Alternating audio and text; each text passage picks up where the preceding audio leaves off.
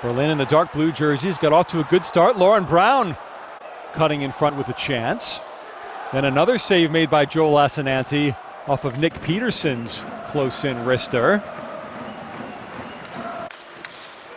At the other end, Luleå weren't without chances. That one zinged in front by Carl Fabricius, headed over the top. A little flick on header there by the goaltender Petri Vehanen. Then Petersen again at the other end, testing Lassinantti in close. Still more chances for Berlin. That one by the number 21 Kyle Wilson. Lassinantti equal to the challenge.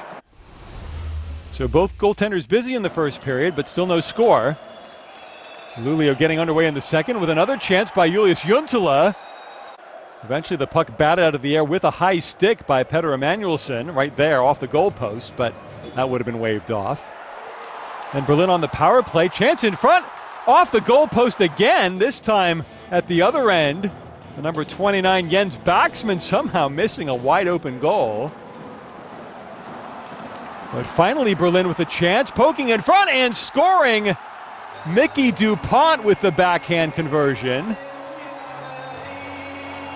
The PA system singing hallelujah, and that's what the sizable Berlin fan contingent thought on the scoreboard. There's MacQueen right in front, and DuPont able to lurk right outside the crease and pick up the scraps. MacQueen getting an assist along with Barry Tallackson. Even strength goal puts the hometown Polar Bears in front by one goal to nil.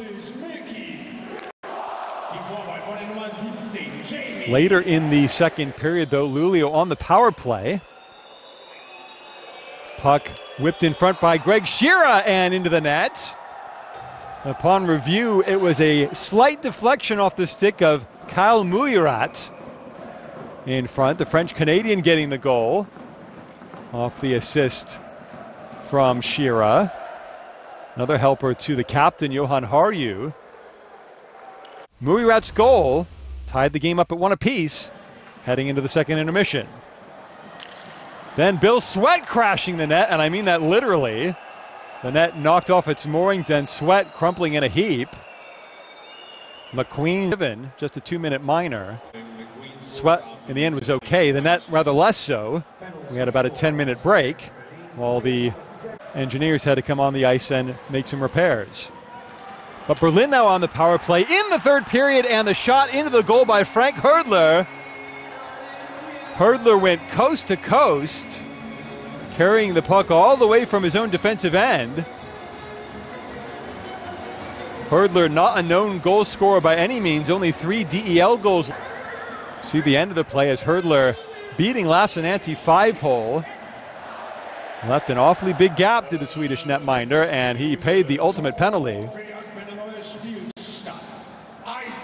Great goal for Hördler. And Luleå with a hurdle to climb to get back into this game. They had a six on four chance late, but unable to convert, and Luleå in the end going down to the 2 1 defeat, which puts them behind the eight ball in Group I. Saipalappi and Raanta waiting next for Luleå.